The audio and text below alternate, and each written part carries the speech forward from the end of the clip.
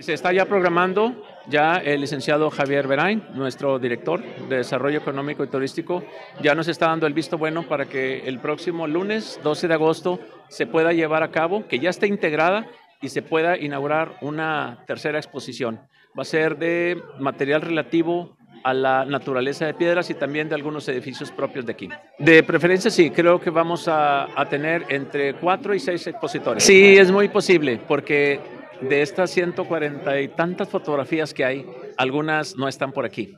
Nos gustaría tener algunas de aquí, integrar otras en su momento, sí.